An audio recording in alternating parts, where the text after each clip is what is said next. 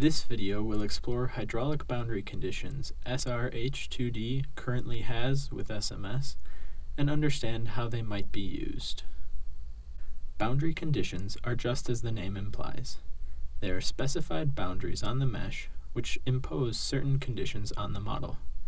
These conditions most often take the form of an upstream inflow rate or a downstream water surface elevation, but there are many types of boundary conditions, and it is important to know what options are available and how they can be used.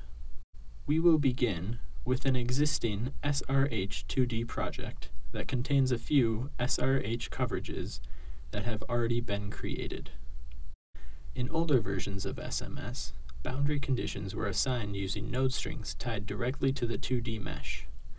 However, the current SRH2D interface within SMS assigns boundary conditions using feature objects in a coverage, which are then automatically mapped to the mesh when a simulation is run. We can see how this is done by selecting our boundary conditions coverage to make it active, and selecting our upstream boundary condition. We can then double-click on the arc, or right-click and select Assign Linear BC to open the boundary condition dialog. Note that there are two types of inflow, subcritical and supercritical. For most modeling applications, the subcritical type should be used. It is generally recommended to avoid the supercritical type. Good practice is to define a model domain such that the flow boundaries are located in areas where the flow is subcritical. Both inflow types allow the discharge to be modeled as a constant value or as a time series, and the flow is assumed to be normal to the inlet boundary. The distribution at inlet option refers to how the flow is introduced to the model domain. The different types available are conveyance, profile, Q, and velocity. The conveyance option distributes the flow based on a unit conveyance model as calculated by SRH2D. The velocities are then calculated and are allowed to vary along the boundary faces. The profile option uses a depth averaged velocity profile to distribute flow. The Q option assumes a constant unit discharge along the length of the boundary. The velocity option instead assumes a constant velocity magnitude. The distribution type chosen can have a significant impact on the results and the stability of an SRH simulation. We'll leave it at the default setting Conveyance and click OK to exit the dialog. We'll now take a look at our downstream boundary condition to see what exit boundary types there are. Note that we have three options, exit H, exit Q, and exit EX. Exit H refers to using a water surface elevation value at a location with subcritical flow, and is the most commonly used. There are a few options for the exit H boundary, which we will cover before moving on to the other two. The constant water surface elevation option lets you either specify your own value or calculate the value using the populate dialog. The populate calculator uses Manning's equation along with an elevation dataset to approximate the water surface elevation at the exit H boundary. The populate command also lets you choose between normal and critical depth calculations. Normal depth correlates to steady, uniform flow, and critical depth is the depth of flow where energy is at a minimum. Because the elevation dataset being used is on the mesh, it is important to place the downstream boundary completely within the model domain. We will show an example of using the populate calculator and give values for the slope, Manning's n, and the estimated flow across the boundary. These values are not preserved by SMS after leaving the populate dialog, and so the values used here should be recorded elsewhere, such as in your project's metadata. The plot then shows the profile of the bathymetry along the boundary arc as well as the calculated water surface elevation value.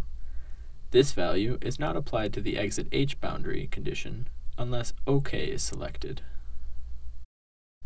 The rating curve and time series options for exit H are typically used for unsteady flow simulations, where water surface elevations are expected to change with time. However, Rating curves can also be useful for steady state simulations. Note that when clicking on the Define Curve button for a rating curve, the Populate command is again available. In this case, a range of flow needs to be defined to calculate a corresponding range of water surface elevations. These can either be entered manually, one by one, or by specifying a minimum, maximum, and delta value and clicking Add. Setting the other values and clicking Plot gives the same cross-section as before, but now with a minimum and maximum water surface elevation shown. Exiting the plot and clicking OK populates the XY series and plots the calculated rating curve. One application for the rating curve can be for when unsteady flow conditions at the exit boundary are necessary, but sufficient observed data is not available to define a time series.